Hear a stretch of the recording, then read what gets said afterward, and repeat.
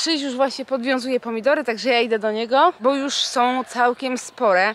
Słuchajcie, mamy dużo sprzecznych informacji, jeżeli chodzi o obrywanie liści pomidorów. Jeden, że tak powiem, plantator, osoba, która zajmuje się pomidorami, mówi, żeby obrywać liście poniżej kwiatków, poniżej pączków pomidorów, tych zawiązek jakby. Inna mówi, żeby zostawić i obcinać tylko te, co są zeschłe, bądź te wilki. I właściwie chyba zrobimy 50 na 50, zobaczymy, co nam się po tym roku będzie lepiej sprawdzać. To wydaje nam się najbardziej dobrym rozwiązaniem.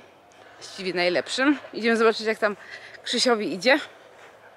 W ogóle jak jest pięknie. Dzisiaj jest sztos. Jak tam, kochanie, ci idzie?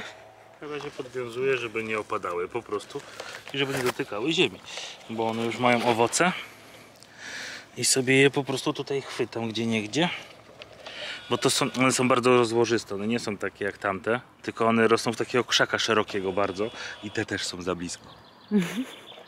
Nie, no to one powinny być rozsadzone po całej skrzyni.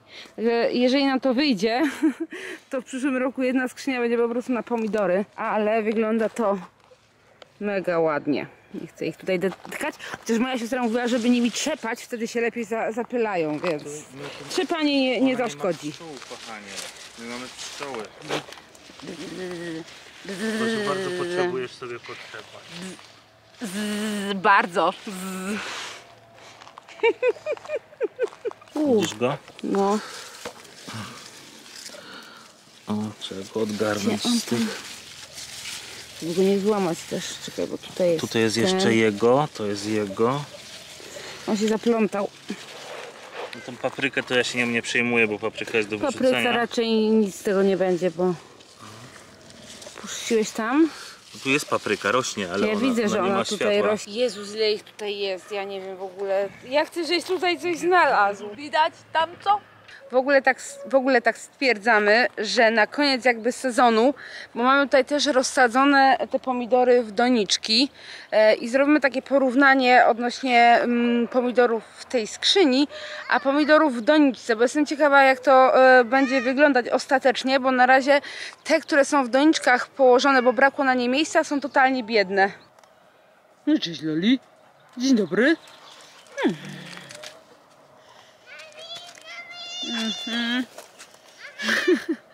Słucham. No słucham. Ale to może sam się pobawisz na chwilkę, mamusia tu skończy, co? Patrz, albo Alitkę sobie weź, co? A ty w tych gołych stopach? Zabieramy się za ogarnianie tutaj miejsca, gdzie ma być taras, e, tylko tutaj było masa różnych rzeczy. Zabieramy stamtąd drewno, już pozbieraliśmy tutaj zbiornik e, z wodą, który stwierdziliśmy, że wykorzystamy jako dodatkowy zbiornik z wodą. Tutaj była jakieś reszta rur od odwodnienia, no pierdzielnik, żeby nie powiedzieć brzydko. Jeszcze odkryliśmy drewno, tam w tym drewnie mrowisko, pełno tych kokonów, małych mrówek. Wrzeszcząca. Wszyscy mnie trzymali. To nie jest kawa, to jest woda. Rozwalisz tą szklankę, Mikołaj. Ja ci mówię, że rozwalisz. Pić, pić. Chcesz ty się napić? To co, damy ci pić. Jezu, czekaj, kochanie, ja ci dam. Ty się chcesz napić, tak? Ostrożnie.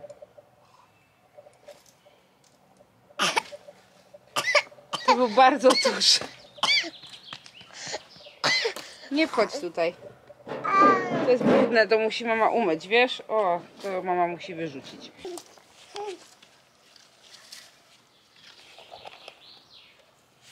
Świetnie. Brawo. Tam. Tam jeszcze chcesz jakiś? Zaraz poszukamy. teraz- Popatrz, tu jest jaszczurka, popatrz. Tu biegnie, biegnie, biegnie, widziałaś? Patrz jak szybko biegnie. Chodź Miki. Tam jest, tam jest, jak ona jest w kolorze wszystkiego tutaj i po prostu jej nie znać. To chcesz też? To może ja ci dam tutaj taki kawałek. O, ten możesz zanieść, proszę. Nie! Ten nie, ty chcesz duży? Ty chcesz ten? Ale tego to na pewno mama nie wyciągnie. Patrz, tata ci daje. To, to, takie lekkie to nie chce mama nosić. O ble! Brudnego on nie chce tata. No to nie mam czystych. No czystych już nie ma, Tu kochanie. Tutaj leżą czyste. Gdzie? O, tu, no ja mu przygotowałam. Proszę, Mikołaj. Nie. Wysoko.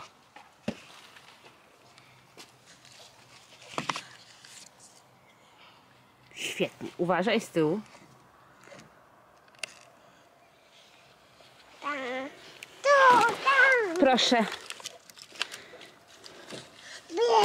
Nie jest ble. Ten jest czysty. A to ty sobie tak wybierasz robotę, chłopcze? Nie ma tak. Tak nie ma. Krzyś ma olbrzymią sałatę. To są dwie sałaty? Trzy. Trzy. Trzy sałaty, bo już nam zjadają ślimaki, bo dość mocno. Ona już jest taka duża, nie jest gorzka. Update naszych prac. Wysprzątaliśmy sobie tutaj wszystko. I już idziemy do domu. Ale Mikołaj dzielnie pomagał, tak? Bo ty chcesz iść, a tatuś mówił, że za rączkę. A tatuś nie miał ci jak dać rączki, bo ma dużo sałaty. Szkoda, że takiej zielonej tylko. Yy, Mikołaj, teraz trzeba się śmiać. Ha, ha, ha, kto się śmieje? Auto. Auto. Tak. Zobacz, to ci wezmę. Zobacz, jak dźwig będzie jeździł.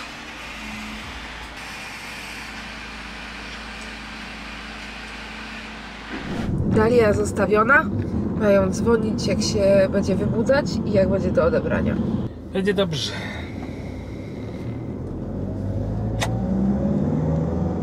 Muszę się pomalować. Nic nie wzięłam, a wyglądam jak. Widzisz, dobrze wyglądasz. Tak. No. Nos mam taki czerwony. No, wymyślasz. Chodzimy do tego, e, do tego weterynarza, tam był jakiś taki duży pies. E, Pies, bo bardzo się ucieszył, że widzi suczkę. Dalej to mi na głowie siedział. Taka była, wiesz, zestresowana całą tą sytuacją. Ale najlepsze jest to, bo dostała tego głupiego Jasia, bo też nie jest uspanie, tylko głupi Jaś, no nie?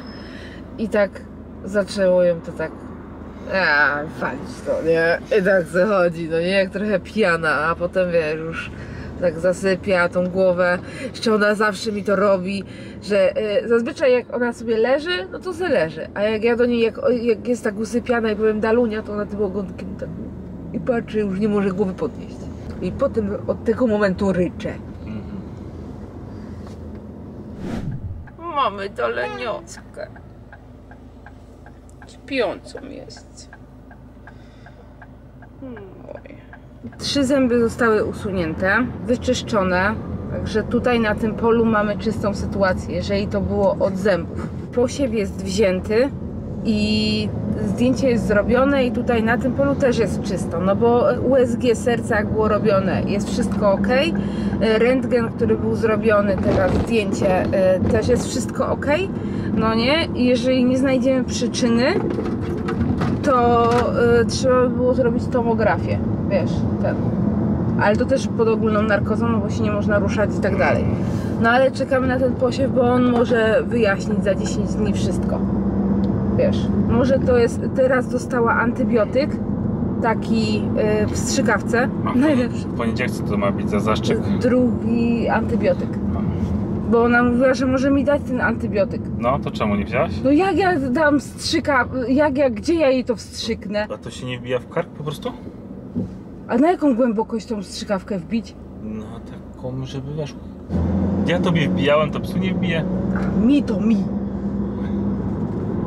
Dalej tutaj. Tyle zaszczyków wbijałem, że... No wiem, z tymi igłami z brzucha tak... To było takie śmieszne. Jakżeś się dygał? A, Bam, bam. Troszkę, boś skakała. Śmiałam się. No i mówiłam, że od czasu ostatniej wizyty po odstawieniu tamtych e, Lekarstw, no. lekarstw n- ani razu te objawy nie wystąpiły. Mhm. Wiesz, ani razu nie, nie ciągnęła na nosie. Więc być może jest to jakiś alergen, może coś pyli bardziej w danym momencie, albo nie wiem, no, no, no nie wiem, ty, że dzisiaj też jakiejś reakcji dostał. No, to zobaczcie na moje oczy. Widzisz moje oczy?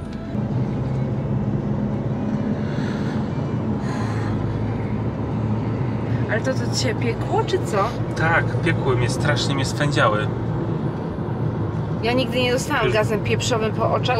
Ja prawie umarłem. No, dzisiaj cały vlog właściwie z samochodu. Robiliśmy tyle rzeczy pobocznie, ale nie miałam do tego zupełnie głowy, żeby coś nagrywać. Co mi się wydaje? Na ten moment wydaje mi się, że to mogła być przyczyna tych zębów, no bo skoro aż trzy zostały wyrwane, to jest dużo zębów wyrwanych i ewentualnie jakiś alergen, y, wiesz, coś pyliło, bo boję się to nasila w pewnych okresach. To nie jest tak, że ona dzień w dzień to ma, no nie? No, tam przeciwbólowe dostała. E, natomiast bardziej mnie tam widzę, że ją bardziej gniecie to oko, wiesz, że ono jej tam bardziej przeszkadza. To, to białe. To jest taka zimna, wiesz, da mi i jest normalnie chłodna. Taka. No zimne, jest, ona Jak zawsze ją- jest gorąca. Tak, jak ją odstawiałam, to ona była taka ciepła, no nie? A teraz nawet tu, nawet brzuch ma. Tu włóż. No, Nawet zimny. tu ma zimny, nie? Dobrze, zgłosimy się już e, z domu. Zaczynamy działać z naszym tarasem. Rozmierzyłem sobie bloczki. To są bloczki betonowe fundamentowe. Je sobie tutaj zabetonujemy, wykopiemy dziury i tak to osadzimy. Tutaj już mamy część tarasu, ale chcemy się do tego dołączyć. O, do tego tarasu będziemy się dołączać. Tutaj pójdą belki. Tak to jest wstępnie rozmierzone dużo tych bloczków, ale chcę, żeby to było stabilne i mocne. Także tutaj wszędzie będą właśnie zamontowane te bloczki. Już sobie wytyczyłem tutaj sznurkiem e, cały rozmiar naszego tarasu. Słuchajcie, u nas niesamowicie ciepło. Przypuszczam, że u Was jest podobnie. Ja zabieram się za robienie lemoniady arbuzowej i to jest najlepszy przepis ever. Świetnie gasi pragnienie i też chłodzi organizm tak gorące dni. I przepis, jak ją zrobić, będzie w naszym najnowszym przepiśniku. Premiera już w piątek, także zapraszamy do zapisania się do newslettera. Dotychczas wszystkie osoby, które się zapisały, testowały przepisy właśnie z tego przepiśnika, więc warto być w tym newsletterze, bo, bo przy okazji kolejnych również do Was może trafić właśnie próbka mm, kolejnego e-booka kulinarnego i możecie przetestować te przepisy, po czym powiedzieć nam, mm, czy wszystko jest ok, może znajdziecie jakąś literówkę, pomożecie w tworzeniu i ulepszaniu tych przepisów. Na ten moment biorę się właśnie za lemoniadę. Oczywiście w lodówce jest iced tea, czyli herbata mrożona, też z naszego przepiśnika. Również znajdziecie przepis właśnie w tym najnowszym e-booku. Ona jest ekstra. Jak mój Krzyś nie lubi pić takich różnych rzeczy, to tą herbatę pije na potęgę i ona też niesamowicie super gasi pragnienie i jest y, no jak te sieciowe herbaty, które tak lubimy, ale one mają mnóstwo cukru e, w tej ta jest po prostu wasza, zrobiona przez was, wiecie co tam w środku jest. Także biorę się za robienie, bo mam resztkę arbuza, nie chciałabym, żeby się zepsuła, więc już sobie tutaj przygotowałam blender. E, możecie blendować w takim blenderze lub takim ręcznym, e, który ma na końcu taką specjalną końcówkę e, i dociskacie, tak blendujecie różne koktajle i tak dalej. Pokażę już wam efekt końcowy. letting you in.